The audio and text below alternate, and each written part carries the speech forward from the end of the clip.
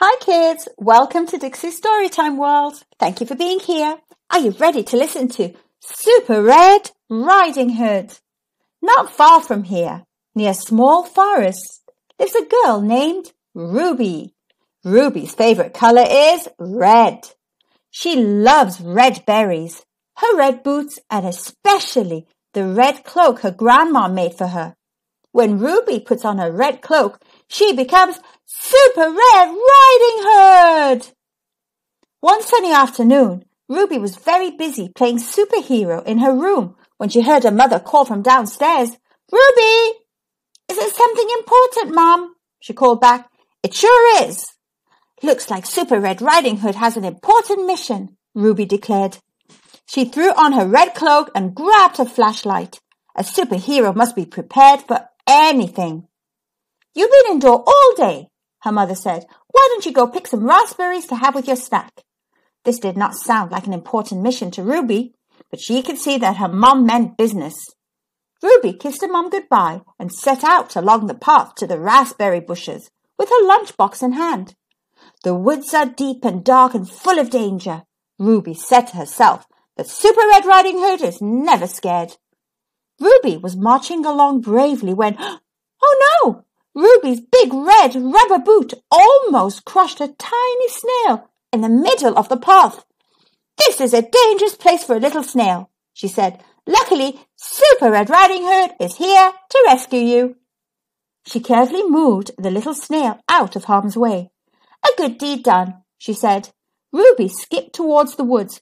Who's afraid of the deep dark woods? The deep dark woods, the deep dark woods. Who's afraid of the deep dark woods? Na na na na na na. Not me, she sang. When she got to the edge of the forest, she stopped and peered ahead. A chill drifted out from the shadowy darkness. A superhero must be silent like a cat and watch out for danger, Ruby whispered and tiptoed into the woods. The forest was full of strange noises. It was a very good thing she had remembered to bring her flashlight. Woo! Woo! Owl. Twig. Taka, taka, taka, taka, woodpecker. Ow, twig, woodpecker, she said aloud, shining her bright light toward the different sounds. Who's afraid of the deep dark woods, the deep dark woods, the deep dark woods? Who's afraid of the deep dark woods? Na na na na na. Not me, she sang as she walked. Before long, she came to a sunny clearing packed with raspberry bushes. She ran to fill her lunchbox with juicy red berries. Mission accomplished, she said triumphantly. She was just snapping her lunchbox closed when she heard a new sound. A big, rumbly, growly, terrifying sound. Growl! Ruby's tummy twisted in a knot. Her teeth began to chatter. A superhero must be brave, she reminded herself. Who's afraid of the wolf? He towered over Ruby, looking frightful with his sharp claws, his yellow fangs, and his bushy tail swishing from side to side. The wolf inched closer. Soon he was so close to Ruby, she could feel his steamy breath on her face. Um, uh, excuse me, I'd like to get by, Ruby said in a smaller voice than she would have liked. The wolf didn't move. He grinned and asked in a crackly growl, Where are you going all alone in this big dark forest? Ruby narrowed her eyes and peered at the shaggy beast. Why do you want to know? Oh, I'm just curious, I suppose. Maybe you can tell me this. What's in the box? Before she could answer, the wolf lunged Quick as a rabbit, Super Red Riding Hood hopped out of the way and used her super skills to leap and dart past the tricky wolf. She scrambled up an oak tree and perched on a branch just out of the wolf's reach. While she sat and caught her breath, the grumbly wolf skulked around the trunk of the tree. Ruby had had enough. Wolf, she called down, let me pass. But the wolf stayed put. Wolf, I'm going to count to five. You'd better leave me alone. The wolf still didn't move. One, Ruby said firmly. Two, three, four. He could see that Ruby meant business. Okay, okay, I'll leave you alone. Ruby started climbing back down the tree, but then growl, Wolf!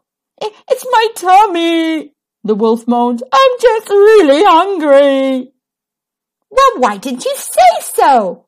Ruby jumped out of the tree, her red cloak floating down behind her like a parachute.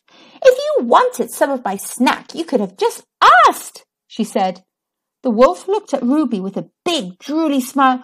Okay, can I have some? he asked, holding out a paw. Ruby pulled her lunchbox out of the wolf's reach.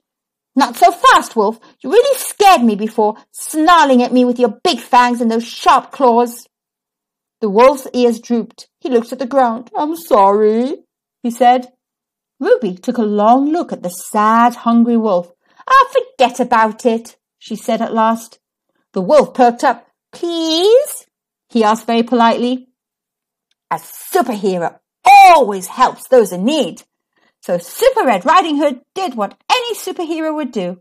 She popped open her lunchbox and shared the juicy berries. As Ruby and the wolf snacked together under the big oak tree, Ruby remarked, I didn't know wolves liked raspberries. Oh, yes, said the wolf cheerfully. They're our favourite. The wolf sat thinking for a little while as he munched. I didn't know little girls could be superheroes, he said. Oh, yes, said Ruby with a wide smile. We can.